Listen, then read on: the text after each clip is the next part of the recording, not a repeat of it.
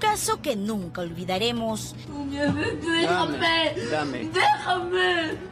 Mordidas, puñetes, moretones, Lady Guillén estuvo a punto de perder la vida a manos de Ronnie García, el hombre que le juró amarla y protegerla, convirtiéndose no solo en su agresor, sino también en un manipulador. ¿Cuántas veces me quise salir del centro de rehabilitación? ¿Cuántas veces me quise escapar? Y tenía en la cabeza ir a buscar a mi agresor. Una realidad que muchas mujeres maltratadas deben atravesar y que en el 2012 Lady Guillén vivió en carne propia. Una historia de terror que empezó en abril de ese año, cuando salió a la luz esta fotografía, fotografía que Lady negó. Esa fotografía no existe. Es truncada. ¿Sí? Yo no estaría sentada de una persona que me, que me trata mal, ¿no? Si yo sé que voy a salir muerta de mi casa. Los meses pasaron y Lady con Ronnie, quienes llevaban poco más de un año de relación, se paseaban en distintos programas de televisión, contando una historia muy diferente a la de la vida real. Estás embarazada. A un ser más. ¿Cuántos tienes? Eh... No sabes, ¿no? ¿Cómo no sabes? Mes y medio. ¡Ay, qué lindo! Lady estaba completamente manipulada por el hombre que amaba para que en junio de aquel año se armara de valor y denuncie el maltrato sistemático que vivía. Yo ese día, Magali, me corrí porque el señor vino de la calle de frente a pegarme y yo quería defenderme y no podía de otra forma.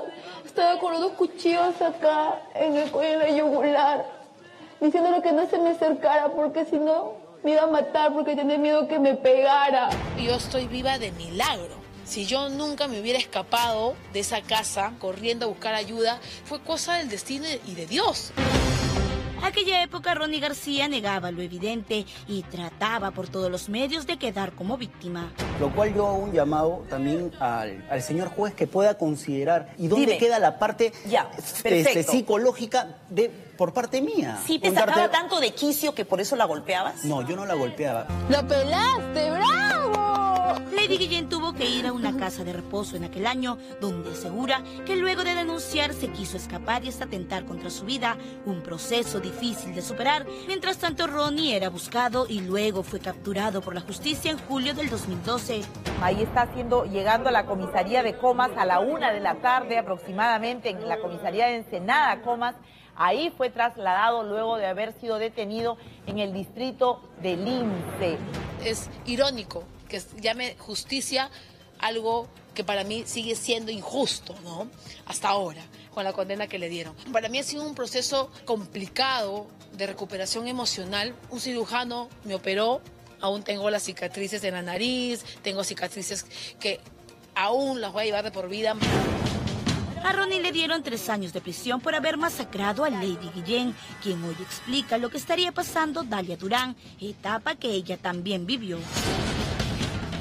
Es una etapa de negación que va dentro de una superación y recuperación de una mujer que ha pasado por violencia sistemática. En mi caso me pasó, lo pudieron eh, exponer públicamente. Mientras pasaban los meses, uno entiende que es parte del proceso de la superación.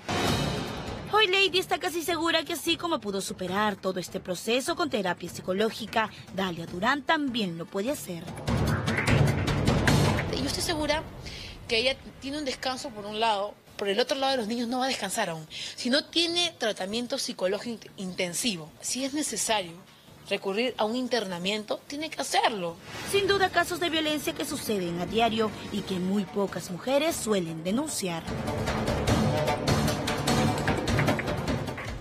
Terrible, nunca olvidaremos ese caso icónico que marcó un antes y después. En esa época las leyes eran bastante blandas con los golpeadores y a Ronnie García se le dio solo tres años de prisión. Salió, se encontró con otra mujer, no sé si su pareja enamorada, le volvió a pegar y volvió a la cárcel. Ahora se encuentra libre, pero estas heridas, como dice eh, Lady Guillén, las heridas no solo físicas, las que pudo borrar un cirujano plástico, pero hay otras heridas que jamás se le podrán borrar. Eh, eh, llegaba a tal punto la manipulación y dominio que el novio de, de ella tenía en ese entonces sobre ella que ella iba públicamente a los sets de televisión a decir que la fotografía que habíamos mostrado era una fotografía falsa, que era una fotografía adulterada, que ella jamás iba a seguir con un hombre que la golpeara. Sin embargo, era lo que ella decía de la boca para afuera, totalmente dominada por su golpeador. Hoy en día lo reconoce, le costó muchos años de terapia salir adelante. Y creo que Dalia Durán, al igual que otras mujeres en su situación, necesitan muchísimo tratamiento, muchísimas ganas, fuerza de voluntad, empezar de cero a comenzar a quererse a sí mismas, a empezar a armarse como un rompecabezas y finalmente aceptarse, porque de lo contrario terminarán como Dalia, defendiendo a quien las golpeó